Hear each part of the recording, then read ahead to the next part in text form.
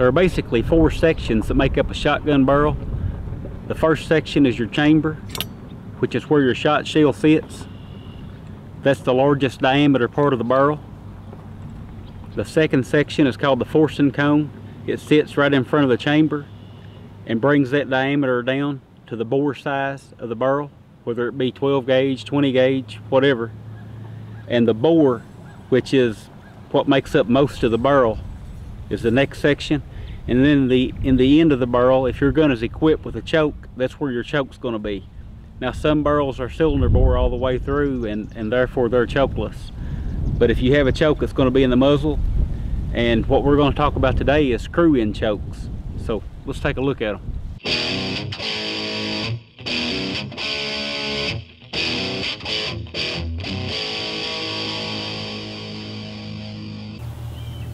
Alright guys, so I've been asked to do this video for a while now. Going back a couple years, I've gotten requests to do it. And I really didn't know how to get started. So uh, it's such a, a large topic and so much in there to explain that the video could be an hour long. So what I'm going to do here is just hit on the basics.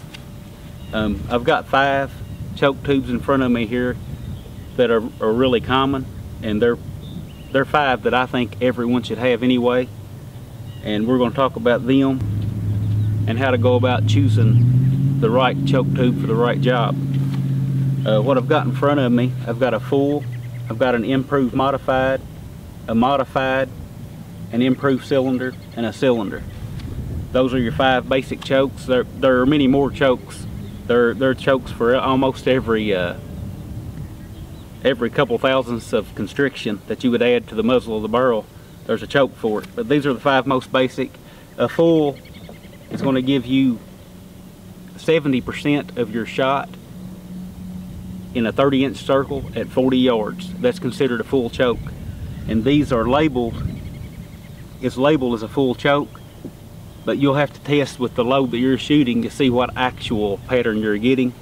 Uh, the labels are actually just guidelines. But uh, then here I've got an improved modified. This will give you 65%, a modified 60, an improved cylinder 50, and a cylinder bore is going to give you about 40% of your pellets in a 30 inch circle at 40 yards.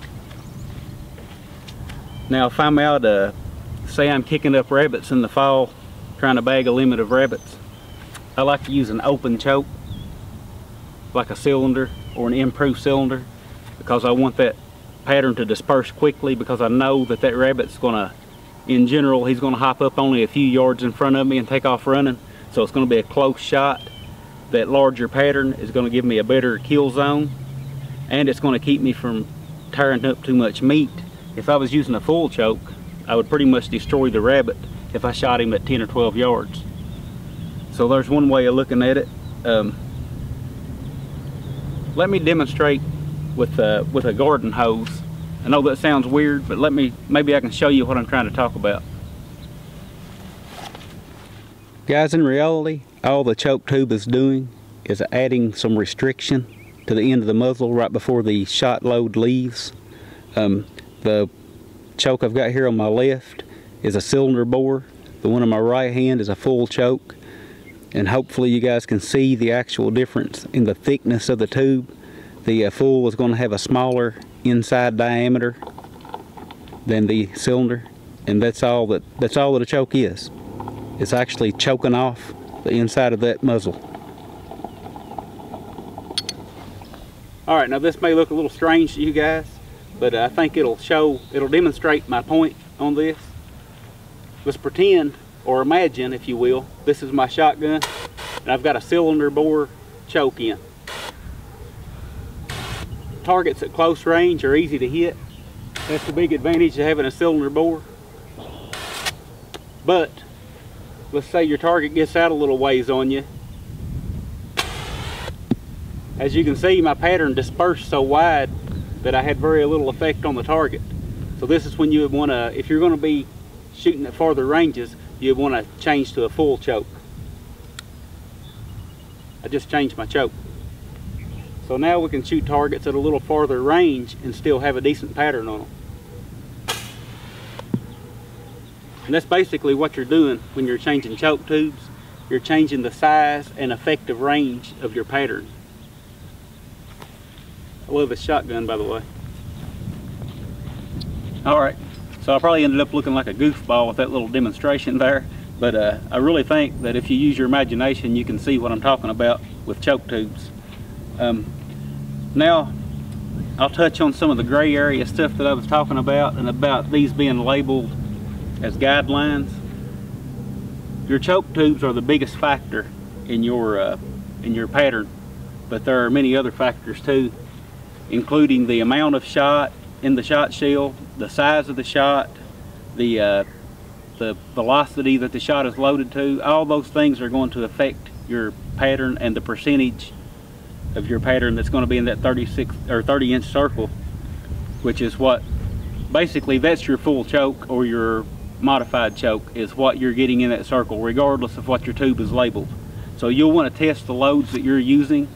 It's always good to get out and practice anyway and, it, and it's good to know mentally what your shotgun is doing. If you can get out there and get on a patterning board somewhere, most trap ranges have them. Uh, sporting clays courses, they're going to have them. Or you can even just shoot like poster board. Just to get a mental picture of what your shotgun is doing, it's, it's really good for you to get out and do that. Now like a uh, lead shot is going to pattern different than steel shot. I've got some steel shot here. In general, steel shot's going to pattern about two chokes tighter than what your choke tube is labeled because it's so much harder than lead. Uh, say I'm shooting an improved cylinder, I'm probably going to get an improved modified pattern on my patterning board with steel shot most people don't like to go tighter than a modified choke when shooting steel shot because of that reason. You can actually get to where you're constricting the shot too much and it, it starts to blow your patterns out. And it can ruin your choke tubes if you're using uh, choke tubes that aren't made for steel shot. Speaking of that, all these uh, tubes here in front of me from Beretta, they're labeled SP, which means steel proof. I could shoot steel in any of these chokes. But I would probably get the best results from uh, modified or less choke. Um, of course, there's specialty chokes out there. You can get chokes that are for rifle, that have rifling in them, for slugs, for uh, sabot style slugs. Uh, this is a turkey choke. It would fall, uh, if it were here on the table, it would be the next level up from full to get even tighter. And I have patterned it. I get about a 90% uh, pattern with the load I'm using for turkey hunting. Uh, this is a waterfowl tube. It's designed for steel shot to give me a full choke pattern with steel shot. But, uh, and choke tube care, you always want to have a, a light coating of grease on these threads. I use, uh, this is, let's see, it's breech plug uh, grease for a muzzle loader. It does a great job on keeping the choke tubes loosened up. They will seize if they're uh, not taken care of and they can be really hard to get out. Of course most of your, if you buy a new shotgun that comes with tubes, you'll get a choke tube wrench with it. They're easy to change in and out. Don't have a choke in here at all right now. They're all on the table. Just drop them in. Twist them down.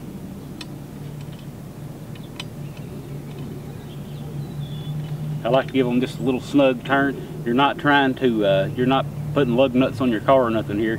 Just want to get them in there good and snug and check them from time to time and make sure they aren't, they haven't loosened up on you. Oops. But uh, anytime you're working around the muzzle, of course, today I've just got the barrel here, so uh, so it's not a concern. But if I had this on the shotgun, you want to make sure that your action is open, barrel's cleared, that's all there is to them. Um, hope this answered some of the questions I've been getting. If not, I can come back and do a part two of this video and actually get out on the patterning board and and demonstrate some patterns with these different choke tubes. If y'all got any questions, feel free to leave them and I'll try to answer them best I can. I'll see you guys again soon.